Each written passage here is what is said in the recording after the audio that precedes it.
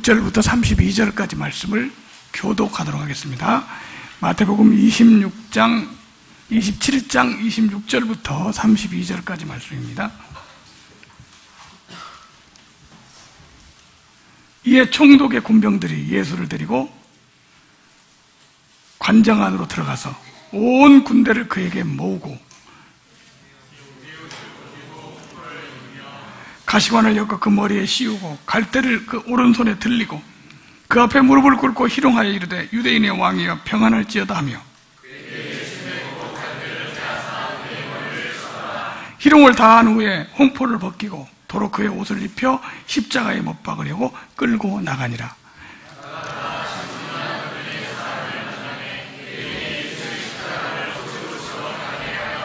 아멘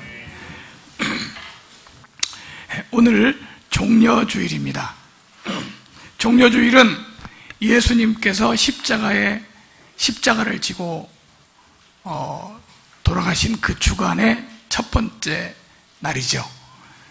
그러니까 예수님이 에, 종려주일 예루살렘에 입성하시고 한 주간 동안 어, 마지막 만찬하시고 또 십자가 지시고 그 십자가에 못 박혀 죽으셨다가 3일 만에 부활하시는데 다음 주일이 바로 부활주일입니다. 그래서 이번 한 주간을 우리가 고난주간으로 드립니다. 예수님이 고난받으신 주간, 그런 뜻이죠. 예수님께서 예루살렘에 입성하실 때 고난받으러 들어가셨죠. 십자가를 지시기 위해서 들어가셨는데 많은 사람들이 종려나무 가지를 들고 호산나 주의 이름으로 오시는 이여 라고 소리를 외치면서 영접했습니다. 그래서 이제 종려주일이라 그럽니다. 예수님께서 예루살렘에서 입성하시고 그리고 마지막 만찬하시고 겟셋만의 동산에서 밤새도록 기도하시고 그 다음날 새벽에 잡혀가시고 그 다음에 빌라도의 법정에서 재판을 받으시고 사형 선고를 받고 그리고 십자가를 지고 골고다 언덕으로 올라가셨습니다. 이 예수님의 고난의 과정이죠. 이거는 아주 우리에게 특별한 의미가 있는 고난입니다. 우연한 고난이 아니고 하나님께서 예정하시고 계획하신 그리고 하나님의 엄청난 구속의 경륜을 이루는 즉 다시 말하면 인류의 죄를 구속하기 위한 하나님의 역사였습니다. 예수님이 십자가 지시는 것이 얼마나 중요한 일인가? 우리의 죄가 십자가에서 구속되고 속죄되었습니다. 그래서 우리는 예수 그리스도의 십자가의 복음을 믿습니다. 근데 그 십자가를 지신 그 날이 그 십자가를 지신 그 사건이 바로 이번에 고난주간에 있었다는 거죠. 예수님께서 그 고난주간의 역사 가운데 가장 중요한 게 뭐냐면 골고다 언덕에 십자가를 지고 올라가신 사건이에요. 우리 저 그 실제로 이스라엘에 예수님 십자가 지시고 올라간 그 골고다 언덕을 올라가 보면 그냥 빈 몸으로 걸어가는 것도 상당히 힘들더라고요. 근데 무거운 십자가를 짊어지고 그게 올라가시면서 쓰러지고 또 올라가면서 쓰러지고 하면서 거기를 올라갔습니다. 죄인은 십자가형을 받는 죄인은 자기의 죄, 죄를 자기가 자기의 지은 죄를 사람들에게 이렇게 에, 알리고 사람들에게 보이기 위해서 자기가 지어 죽어야 될 자기가 달려 죽어야 될 그 십자가를 자기가 지고 올라가는 겁니다. 자기의 십자가를 지고 올라가는 거예요. 그래서 예수님이 우리에게도 말씀하셨어요. 자기의 십자가를 지고 나를 따르라. 예수님이 그 십자가 지고 올라가셨는데 십자가를 지고 올라가실 때 그 십자가를 지고 올라가시는 그 과정에서 많은 사람이 따라갑니다. 로마 군병들, 군인들을 모으고 혹시 이 무슨 기적을 행해가지고 무슨 역사가 일어나지 않을까 두려워서 군대를 모으고 끌고 갔다고 기록하고 있습니다. 그리고 많은 사람들이 예수님을 향해서 조롱하고 욕하고 침뱉고 하면서 따라갑니다. 심지어는 가시관을 만들어가지고 머리에 씌우고 채찍으로 때리면서 따라갑니다. 어떤 사람들은 예수님을 따르던 여자들 몇 사람이 뒤에서 울면서 따라갑니다. 그리고 가다가 도저히 예수님이 감당할 수 없기 때문에 십자가 감당할 수 없어요. 가다가 쓰러지고 또 쓰러지고 벌써 겟셋마리 동산에서 밤새 기도하시고 최후의 만찬 하신 날 저녁부터 그 다음 하루를 굶으셨잖아요. 금식하셨잖아요. 그리고 채찍에 맞고 밤새도록 잠 못 자고 그 육신이 십자가를 질 만큼 감당하기 어려웠어요. 그래서 갖다 쓰러지고 쓰러지고 하니까 로마 군병이 한 사람을 불러 세웁니다. 구레네 시몬. 너 여기 와서 대신 줘! 강제로 예수님이 진 십자가를 대신 집니다.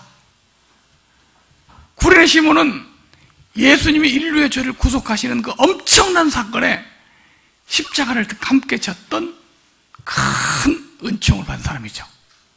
그래서 우리가 억지로 십자가를 지게 했다 그래서 뭐라고 부르냐면 강요된 은총이라 그럽니다. 무슨 은총이요? 예, 억지로 하나님의 은혜를 주실 수도 있어요. 구레 시몬 같은 사람, 예수님에게 침뱉고 조롱하던 사람, 그리고 울면서 따라가던 여자들, 많은 사람들이 있었는데, 예수님이 골고다 언덕에 십자가를 지고 올라가신 그 역사가 계속해서 반복되고 있습니다. 소위 복음을 전하는 주의 종들은 예수님이 걸어가신 그 길을 걸어가기로 결심한 사람들입니다.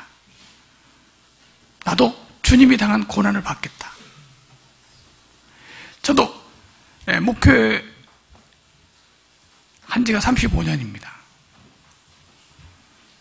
예수님이 걸어가신 그 발자국을 간다고 생각하고 가고 있지만 부족한 점이 많죠. 근데 느껴지는 게 하나 있습니다. 예수님이 걸어가신 그 발자취를 따르고 십자가를 지고 갈 때 바울 사도는 그렇게 말합니다. 그리스도의 남은 고난을 내 육체에 채운다. 예수님이 가신 그 발자취를 따릅니다. 근데 그때마다 그 골고다 언덕에 올라갈 때 주위에 있었던 그 사람들의 역할이 있어요. 물론 예수님 십자가 지실 때 예수님이 구속화를 이루실 때 역할들이 다 있었습니다. 그 중에 하나의 중요한 역할이 누구냐면 가론유다죠. 사실 가론유다가 없었다면 이런 일이 일어날 수 없겠죠. 그러니까 지금도 예수님 십자가 사건을 얘기하려면 누구 얘기를 해야 돼요? 가론유다 얘기를 해야 돼요. 가론유다 쓰임 받은 사람입니다. 예수님 십자가 지는데 쓰임 받은 사람이에요. 물론 가장 비극적인 일에 쓰임 받고 죽은 사람이죠. 가로누다만 있습니까? 예수님 대신 십자가 진 구련의 시몬도 있습니다. 이와 같이 항상 역사는 하나님의 일을 하는데 십자가가 나타날 때, 십자가의 역사가 일어날 때는 항상 이런 사람들이 쓰임받는 사람이 나타나요. 가론유다로 쓰임받는 사람. 역할, 사람만 다르지 역할은 다 같이 나타나고 있는 거죠. 오늘 우리 종료주의를 맞아서 예수님의 십자가의 역사가, 구속의 역사가, 큰 역사가 나타날 때 우리는 어떻게, 어떤 일에 쓰임 받는 사람이 되어야 할까? 우리가 만약에 예수님 십자가 지고 올라갈 때 그 당시에 거기에 있었다면 나는 어떤 사람이었을까? 예수님의 십자가를 대신 지는 구린의 시몬 같은 사람이었을까? 아니면 예수님의 머리에 가시관을 씌우고 조롱하면서 욕하던 사람이었을까? 응삼십에 예수님을 팔아먹은 가론유다 같은 사람이었을까? 우리 한 번은 중고등부 학생들이 성탄절 연극을 준비하는데 애들이 시험 들어가지고 난리더라고요. 왜 그러냐 그랬더니 서로 마리아를 하려고. 마리아를 서로 하려고 그래요. 그리고 가능하면 헤롯이나 마귀, 가론유다 이런 것은 안 하려고 그래요. 그래서 어떤 학생한테 가론유다를 시켜가지고 시험 들어서 교회를 안 나왔다고 하잖아요. 나 그 역할 안 하겠다. 여러분, 오늘 지금 우리가 이 시대에 살면서 우리가 그 역할을 할 수가 있어요. 그 우리 그렇게 해야 됩니다. 나는 절대로 그런 역할은 안 하겠다. 하나님의 일에 귀하게 쓰임 받는 사람이 돼야지 사단의 도구가 되어서는 절대로 안 될 줄로 믿습니다. 오늘 예수님이 십자가를 지고 가실 때, 골고다 언당을 올라가실 때 어떤 사람들이 되어야 하는가? 몇 가지 종류의 사람을 소개를 하도록 하겠습니다. 첫 번째, 1번입니다. 같이 한번 읽어볼까요? 시작! 방관하는 사람들. 예, 방관자들이 있었습니다. 예수님이 십자가를 지고 갈 때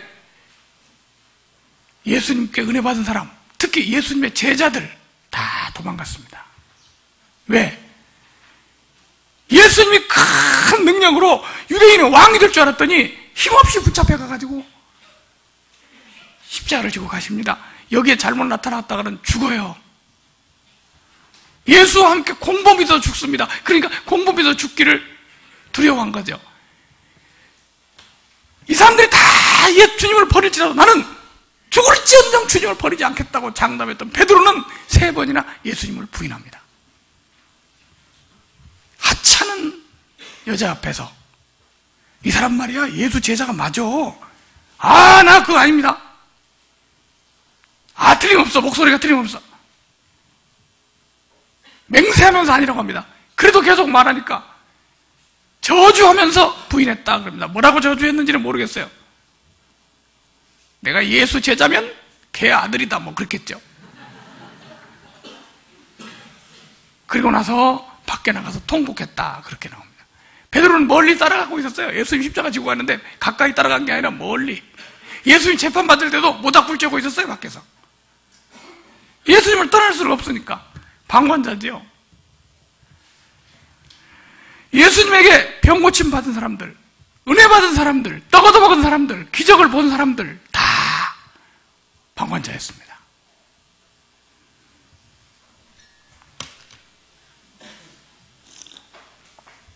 복음을 두고 거듭났던 니고데모만이 예수님 장례 치르겠다고 나섰어요. 그 상황에서 장례 치르다고 나서면 잘못하면 죽어요. 그게 다 무서워서 도망갔어요. 근데 이 사람은 나선 겁니다. 우리 하나님의 일을 하다 보면요. 평안하고 잘 될 때는 다 협력하고 막 할 수 있어요. 그런데 어려운 일을 딱 당하고 문제가 딱 생기고 함께 그 짐을 져야 될 그런 상황이 오면 딱 외면해 버리는 사람들도 있습니다. 오늘 여기 계신 분은 그런 분이 한 분도 안 계신 줄 제가 알고 있어요. 절대 난 짐을 안 지겠다.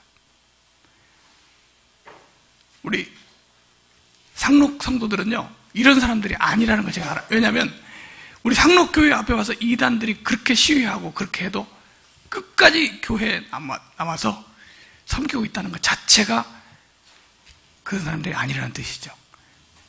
실제 그런 말을 저한테 하는 사람도 있습니다. 목사님 이단 연구할 필요 뭐 있습니까? 이단 대책 하지 마세요.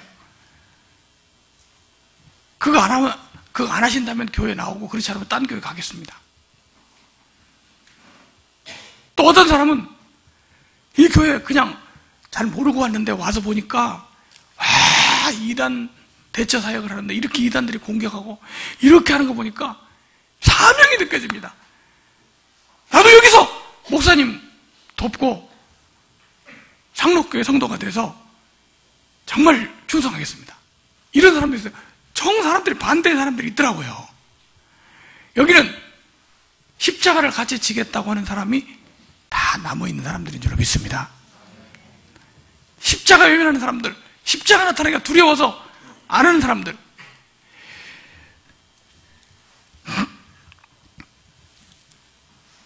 이단 상담 그 교육을 학교에서 많이 했어요. 목사님들이 한 200명 교육받았습니다. 근데 상담소를 실제로 하는 분들은 열 몇 분밖에 안 돼요. 그래서 왜 안 하냐고 하니까 한 분이 그러더라고요. 아이고 고소당하고 욕먹고 그걸 내가 뭐 하려고 합니까? 목회나 잘해야지. 십자가 지려고 하는 하지 않습니다. 가능하면 반대를 하지 않아도 왜냐면 좀 멀리서 방관하고 있는 사람들이 많아요. 예수님 당시에 예수님이 십자가 지고 갈 때, 때도 마찬가지입니다. 우리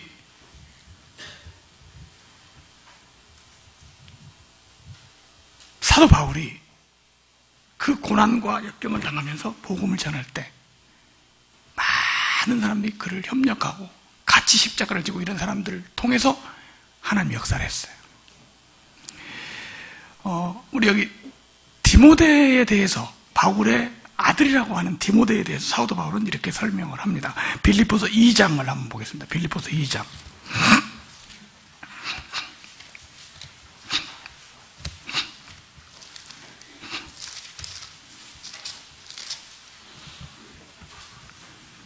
빌리포서 2장 21절 그들이 다 자기 일을 구하고 그리스도의 예수의 일을 구하지 아니하되 디모데의 연단을 너희가 안 하니 자식이 아버지에게 함과 같이 나와 함께 복음을 위하여 수고하였느니라 사람들이 다 자기의 일을 구하고 뭘 구해요?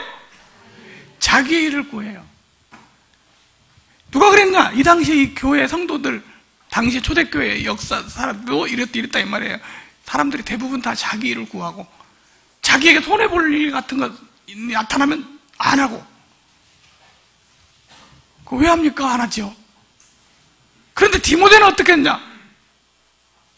디모데 연단을 너희가 안 하니 자식이 아버지가 함과 같이 나와 함께 복음을 위하여 수고하였느니라. 우리 주님 하나님의 역사가 나타날 때, 하나님의 역사가 이루어질 때, 십자가 없이는 하나님의 역사는 이루어질 수가 없습니다. 다 십자가의 역사들이 있어요. 오늘 우리는 이럴 때마다 하나님께 귀하게 쓰임받는 주님의 종들이 되어야 될 줄로 믿습니다. 두 번째, 이대지입니다. 같이 한번 읽어보겠습니다. 시작. 갈대로 치는 사람들이 있다.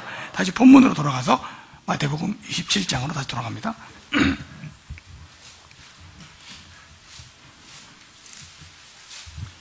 마태복음 27장 28절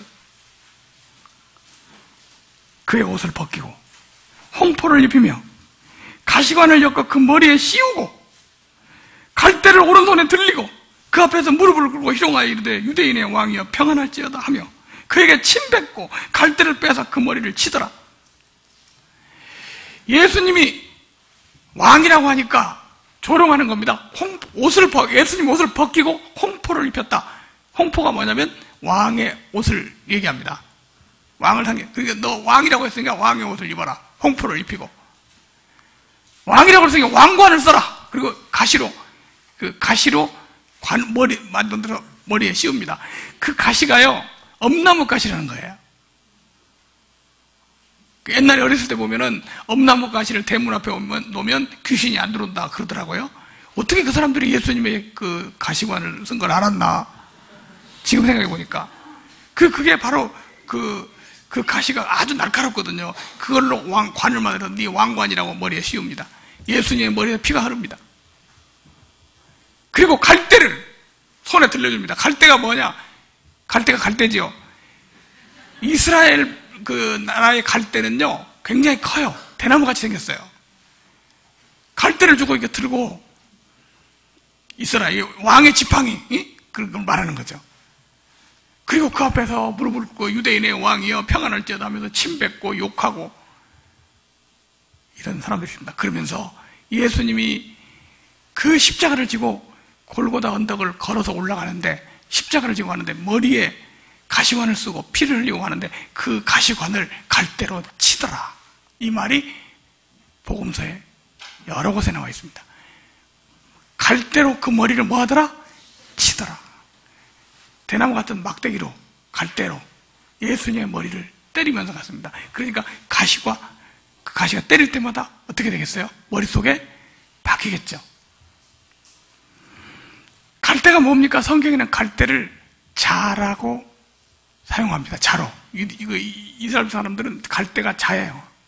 대나무 같이 이렇게 곧게 생겼으니까 자로 사용해서 그래서 갈대 그러면 잡니다. 그래서 계시록 11장과 21장에 보면 갈대를 주면서 청량하라. 계속 11장 1절에 갈대를 주면서 그래서 성전과 재단과 경배하는 자들을 측량하라. 측량이 뭐죠? 재보라. 잣대라는 말이에요, 잣대. 재보라. 근데 뭘 재보냐? 거기에 성전도 재보고, 이게 제대로 된 성전인지 재보고, 재단도 재보고, 거기에 경배하는 자들, 그 성도들을 재보라. 우리 상록 성도들 한번 재볼까요? 누가 합격하겠습니까? 그래서 에, 재본다 이 말은 헬라어로 잔인하다 그런 뜻이에요. 재본다가 뭐라고요? 잔인하다. 재보면요 아무도 합격할 사람 없습니다. 대부분 그 부부싸움에도 여, 여자들이 잘 재보거든요. 여자들 성격이 분석적이에요. 아니 제 아내만 그런지는 몰라도 재봐요 자꾸 당신이 남편으로서 자격이 있냐 재봅니다. 그 제가 제 아내 얘기를 가만히 듣고 듣고 있으면요 나는 아버지로서도 남편으로서도 아무 자격이 없어. 자격 위달이야. 항상 기가 죽어요. 재보면 그 나는 제 아내를 재보지 않아요. 재본다는 게 뭐냐? 잔인하다는 뜻이고요. 긍일이라는 말은 재보지 않는다 그런 뜻입니다. 여러분, 재보는 게 판단하고 비판하는 거죠. 판단하고 비판하는 것은 가시로 찌르는 것 같습니다. 예수님 머리를 갈대로 때렸다는 것은 재본다는 뜻이에요. 오늘 하나님의 일을 할 때 이런 사람들이 많이 나타납니다. 가시관을 씌우고 소위 가시 노릇 한다고 하잖아요. 가시 노릇.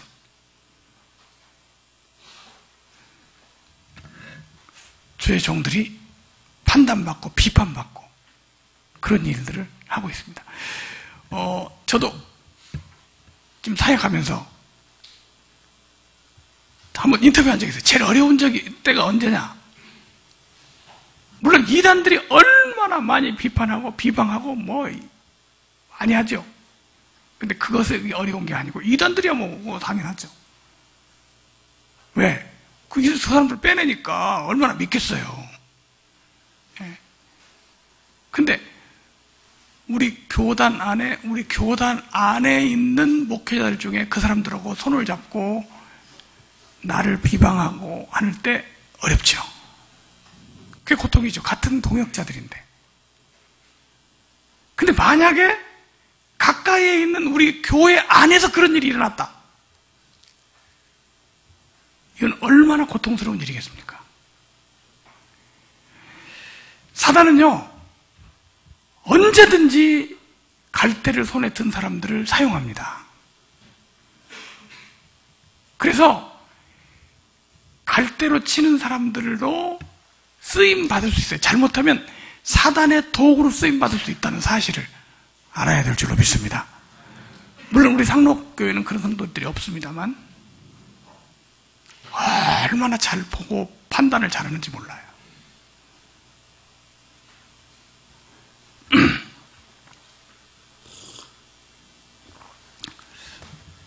우리 고린도전서 4장에 한번 보겠습니다. 고린도전서 4장. 고린도전서 4장.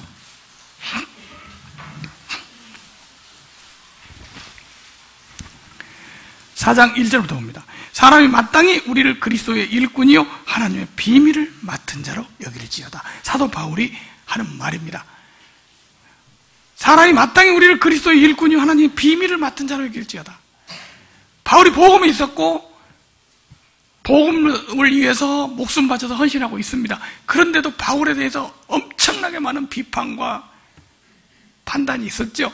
그게 뭐 바울이 사도냐 아니냐 사도의 자격까지도 논의합니다. 이게 누가 하는 거냐면요. 적들이 하는 것은 별 문제가 없는데 같은 교회 안에서 문제가 더 힘들었던 거예요. 이건 받은 교회 안에서 있었던 일을 말, 이름 말합니다. 그렇게 말합니다. 3절 너희에게나 다른 사람에게나 판단받는 것이 내게는 매우 작은 일이라도 일이라 나도 나를 판단하지 않냐노니. 근데 사도 바울은 누가 교회 안에서 나를 판단한다고 하더라도 그, 그렇게 큰 일로 여기지 않았어요. 작은 일로 여겼어요. 그래서 저도 그렇게 하려고 합니다. 작은 일이다. 무슨 일? 큰일 났어. 큰일 안 났습니다. 작은 일. 사람이 판단하는 건 작은 일이야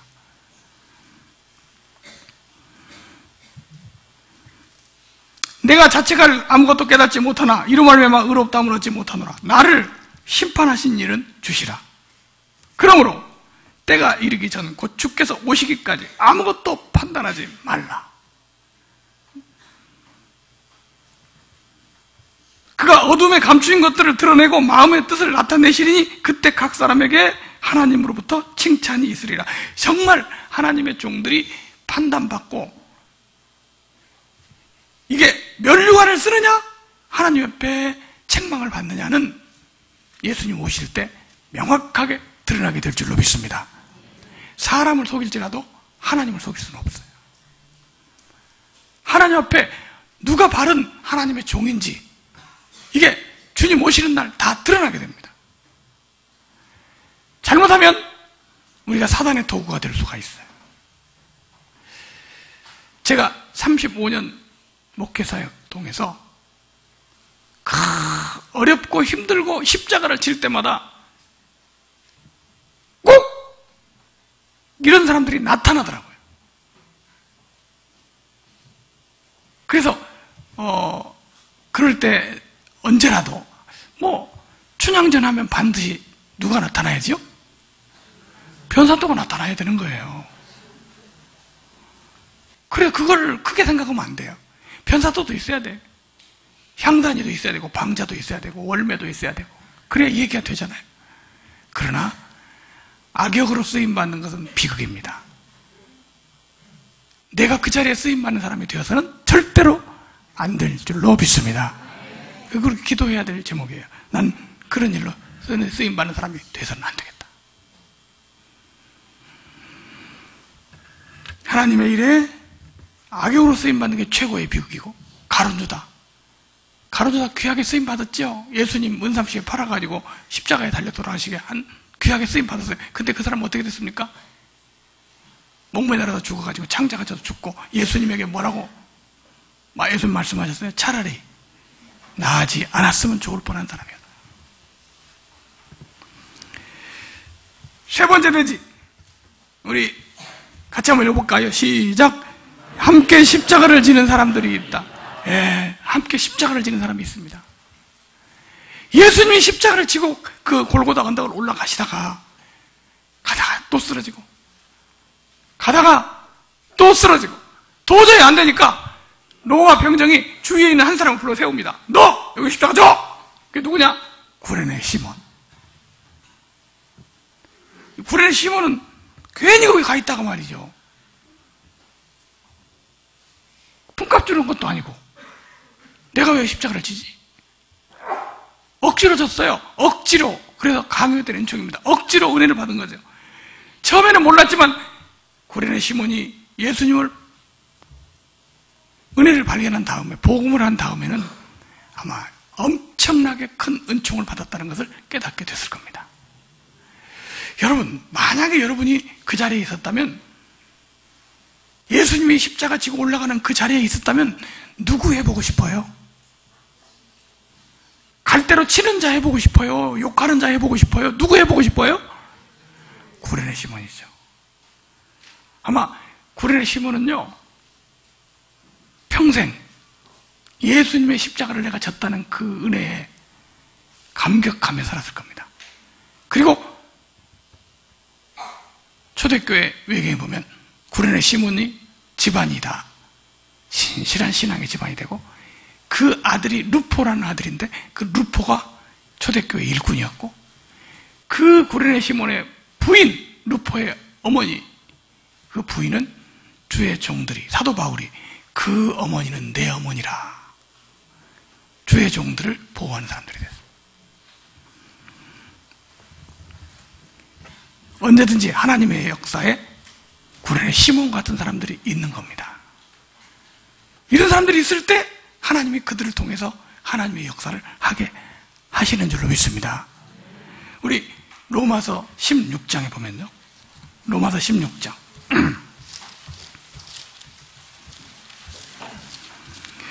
로마서 16장, 로마서에 보내는 편지 가운데 바울이 정말 귀하게 생각한 몇 사람을 여기다가 언급하고 있습니다. 첫 번째로 언급하는 사람이 한 집사를 얘기하고 있습니다.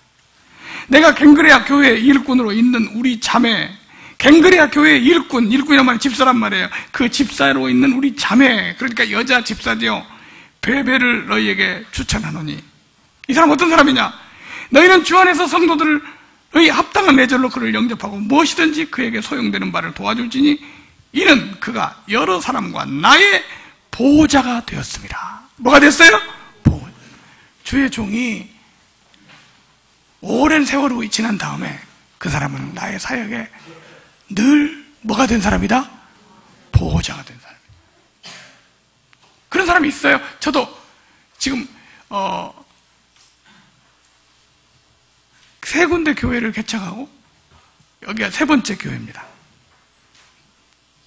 지금도 사역하는 옛날 교회를 생각하면서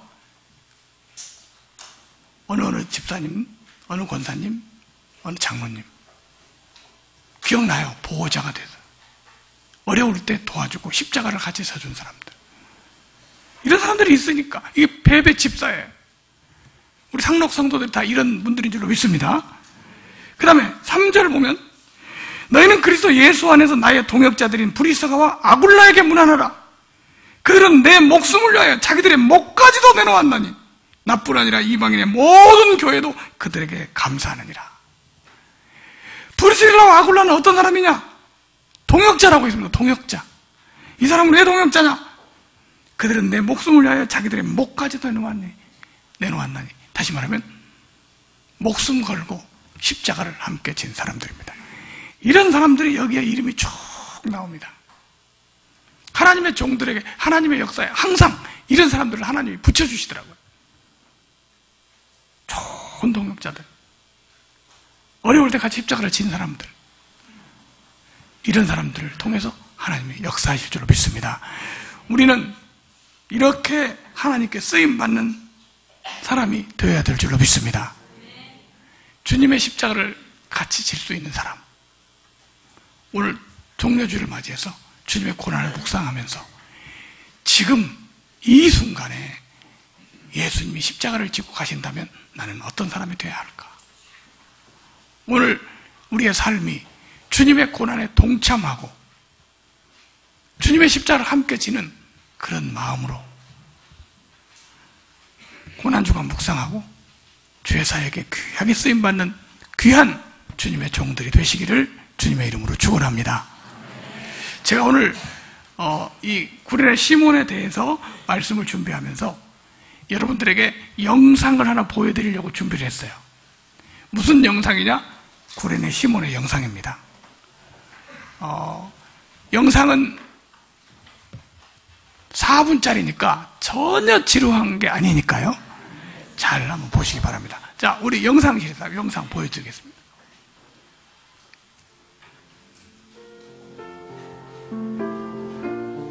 유월절을 지키기 위해 구레네 사람 시몬은 예루살렘을 방문했습니다. 그런데 도시가 웅성웅성했습니다.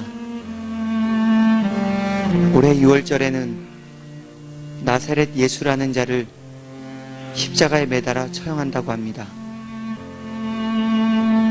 그때 시몬은 예수가 아주 고통스럽게 자기 앞을 지나가고 있는 것을 발견합니다. 그리고 사람들이 서로 웅성거리며 말하는 것을 듣게 됩니다. 저 사람이 글쎄 자기가 스스로 하나님의 아들이라고 하고 다녔다며 그리고 그를 놀리고 침뱉고 때립니다. 그는 어떻게 해서라도 십자가를 지고 가려 애쓰고 있습니다. 하지만 그는 더 이상 십자가를 질 수 없었습니다. 하필 그때 로마 병정이 시몬에게 억지로 십자가를 지게 합니다. 얼떨결에 십자가를 진 시몬의 마음은 어땠을까요? 아마 억울했을 것입니다. 자기가 왜 희생양이 되어야 하는지 이해할 수 없었을 것입니다. 내가 왜 많은 사람들이 경멸하고 싫어하는 십자가를 져야 한단 말인가? 정말 억지로 골고다 언덕까지 올라갔을 것입니다. 그런데 여기서 우리가 주목해야 할 사실은 예수님이 가장 아끼고 따랐던 제자들은 모두 도망가고 힘없는 여인들만 먼 발치에서 예수님을 따를 때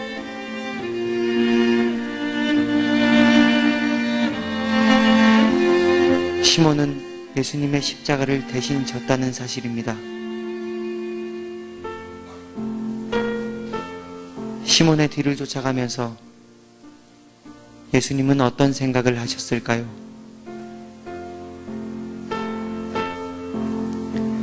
아마 시몬의 그 헌신을 기억하시며 참으로 고마운 마음으로 그를 바라보셨을 것입니다.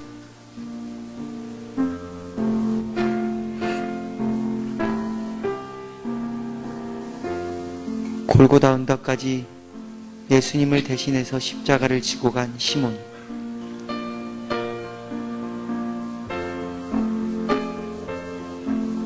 그는 예수님이 십자가에서 죽으시는 모습을 가까이에서 목격했습니다.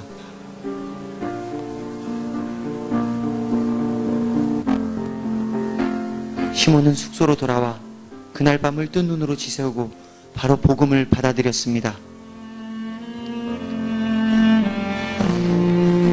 복음을 받아들이고 나서야 예수님의 십자가를 자신이 졌던 것이 얼마나 큰 은혜인지를 깨닫게 됩니다. 십자가를 지는 그 큰 일에 자기를 동참하게 하신 것이 얼마나 큰 은혜인지요.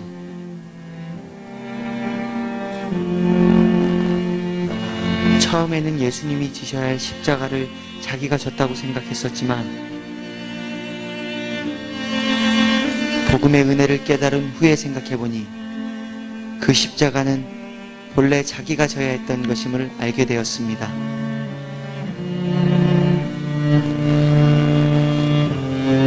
나의 죄를 대신해 짊어진 십자가. 그 십자가는 나를 위한 것입니다.